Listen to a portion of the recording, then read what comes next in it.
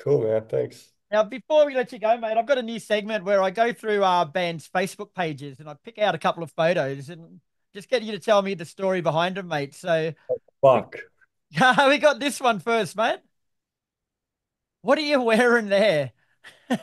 Oh, that's oh, that's me and, and Cheech who passed away.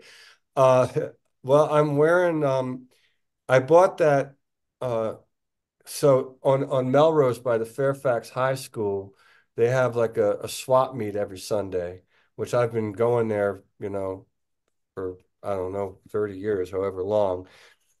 And uh, the lady had that hanging up, and it's made out of hemp material. And that photo was probably during the lockdown, and I'm chilling with my doggy. I can't see my face on the picture, but Yeah, so I don't know if I'm very comfortable. Smiling. You look very, Yeah, yeah, but I'm smile. And I think the caption on it said something about you'd pick up the guitar and the dog just comes and makes itself comfortable right where you want to play. It's beautiful. Yep, that's the Doberman for you. and we got one more with you and a few of the boys on a beach with jeans on. What the Uh, okay, yeah, well, I, I can explain that. Um,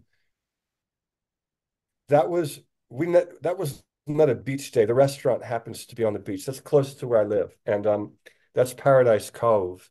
And so you've got um a restaurant there, uh, and I think it's the only one that has a section where you can drink alcohol, actually, unless they changed that. But we were recording, we were writing for what would be our third album.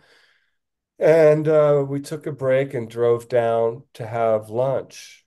And that's why we're dressed like that. It wasn't necessarily a beach day.